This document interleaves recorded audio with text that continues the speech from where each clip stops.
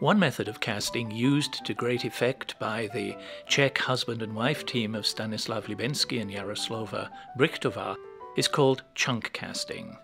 The mold is prepared, and instead of being filled with molten glass poured into it from above, it's packed with chunks of glass.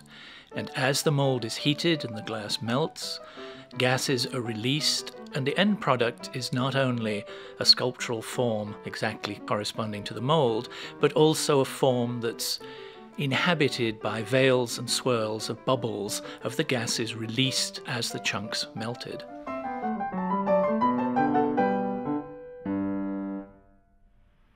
A mold has been made of a mixture of plaster and silica. The bottom has been impressed with a rectangular decorative pattern. It's placed in a kiln and crushed glass in the form of chunks are placed inside the mold. Here, a high-quality optical lead glass is being used. The mold is filled to overflow because as the glass softens, it will take up less volume and settle downward into the mold. An electronic controller is adjusted to gradually heat the mold with the glass inside to a temperature of about 1400 degrees.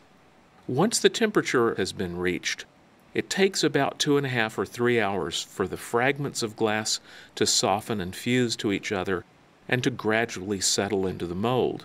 As they do this, bubbles gradually rise to the surface and pop. The glass settles completely into the mold to fill all of the recesses and crevices. The kiln with the glass and the mold in it is very gradually cooled to room temperature over a period of about 12 to 14 hours. The mold material is brittle and can easily be broken away from the glass object.